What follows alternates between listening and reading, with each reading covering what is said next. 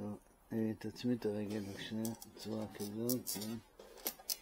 טוב, אנחנו שוב, מה אנחנו רואים פה? יש לנו, שוב אנחנו נפגשים, יש לנו פה ציפורן חודרנית בצד אחד, שיש בה גם מלווה בפטריה, הציפורן. חצי מהציפורן בריאה וחצי שיש לה פטריה. עכשיו פה כמובן יש לנו נפיחות כתוצאה מהחדירה של ציפורן, של הציפורן, זה נורא, זה נקרא ציפורן חודרנית.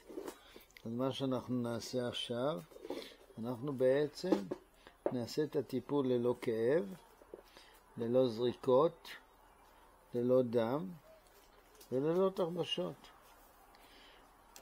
אוקיי, בואו נתחיל. הנה תופס ככה כואב? לא, יפה. מצוין. בואו נראה, אנחנו מפה, לאט לאט, כן, אתם רואים? כמה זה יכול להיכנס פנימה, ממש בצורה כזו.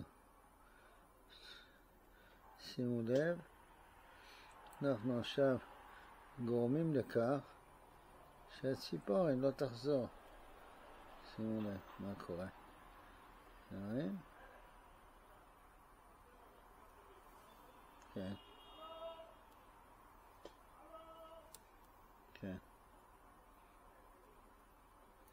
הופ. ראיתם? הנה, לכם.